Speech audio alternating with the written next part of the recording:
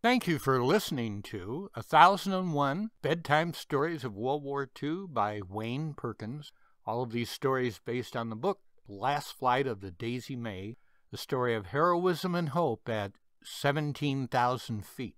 Story 14 Secret Information Revealed on the 74th anniversary of the last flight of the Daisy Mae.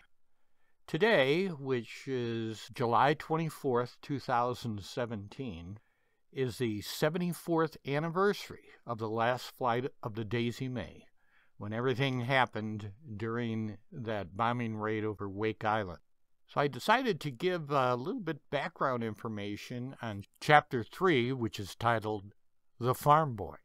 And in The Farm Boy, I introduce characters.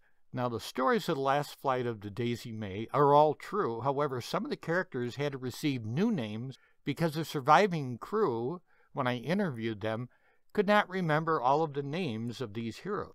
We begin in Chapter 3, The Farm Boy, with these renamed characters.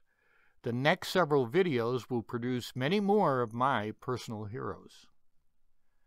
I wanted to honor the men and their achievements in farming, and in some of the other stories in the book, I wanted to honor them the uh, the best way possible.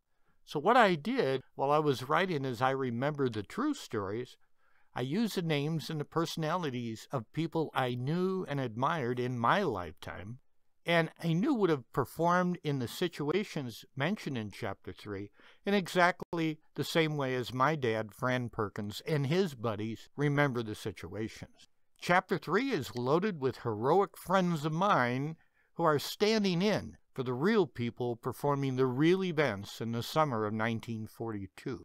When you listen to Story 14, Camp Grant near Rockford, Illinois, and then stories 15, 16, and 17. The characters standing in for my dad's heroes are my personal heroes. We start out with Jacob and Tina Nelson, who we introduced in the last episode, story 13, and of course all the little Nelsons, who are based on the Lishing family from northern Illinois. Deuce Nelson, who is Deuce Olson in real life, a real live guy that's still around, Corporal Tom Hebe, he left us long ago and was a close personal friend of mine from Algonquin, Illinois. Sergeant Dale McDowell, who was my fifth grade teacher at Eastview Elementary School in Algonquin, Illinois.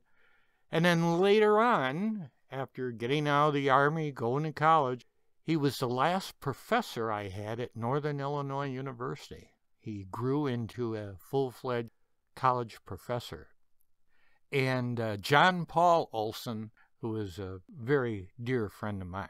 Many of my friends from Dundee High School from back in the day will remember these kids and these people. I think they too can vouch that these people were very special. I hope to do them the same honor as it was for me to live and breathe right alongside of them. I'm excited to see that they're part in telling a story that's extremely important to me and should be for a lot of people around the world to find out some of the true events that happened during World War II.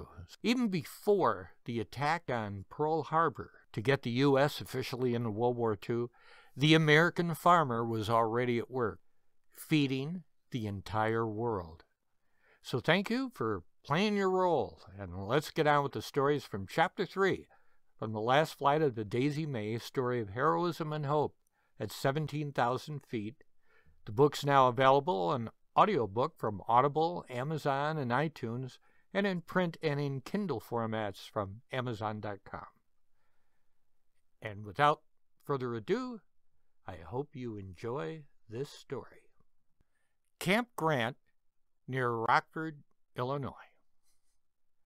At the same time at Camp Grant near Rockford, Illinois, Private Fran Perkins sits on his lower bunk of an army barracks contemplating the forced field march scheduled for tomorrow, his first such forced field march. On a forced field march, the men dress up in all of their U.S. Army gear, including a steel pot helmet, fatigue shirt and pants, and a pair of heavy wool socks and army boots. In addition, each soldier packs a small shovel, canteen kit, tent ropes and pegs, and one half of a tent called a shelter half that attaches to another soldier's shelter half. Fran packed extra socks and his K rations to eat during the day. Fran's excited but disturbed at the same time. It is summertime, and lugging all of this gear will make the heat unbearable. He is in his fifth week of basic training, and he wonders if he has the endurance to march for 12 miles with a 30 pound pack on his back. Even though he's a young, healthy 18 year old, doubt enters Fran's mind.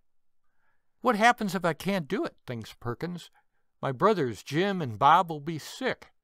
My dad will be disappointed and think I'm a failure. Jim's fighting with General Patton's army in North Africa, and Robert's with the 8th Army Air Corps stationed in England. They've both proven themselves in combat. How did these two city boys ever make it through basic training? We never hiked or lived in the woods growing up. We never exercised as we do now in basic training. I'm not familiar with all this stuff, and I don't want to be the one who fails. Fran looks around his barracks, now empty. There are 12 bunk beds on the first floor of the barracks and eight upstairs. The drill sergeant, Dale McDowell, and his assistant, Corporal Tom Heavey, have a bedroom in part of the upstairs barracks. Outside groups of soldiers are talking and laughing, but Fran is deep in thought about tomorrow's activities. I just hope I can do this, Fran says in a whisper.